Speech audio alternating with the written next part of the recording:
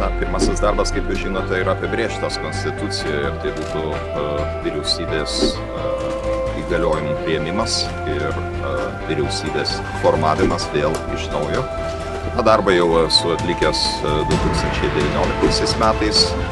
Manau, kad prezidentas net ir esant štai tokiam, kai e, sakoma, daugiau techniniam vyriausybės pertvarkymui, vis dėlto prezidentas turi imtis iniciatyvos ir įnešti tam tikras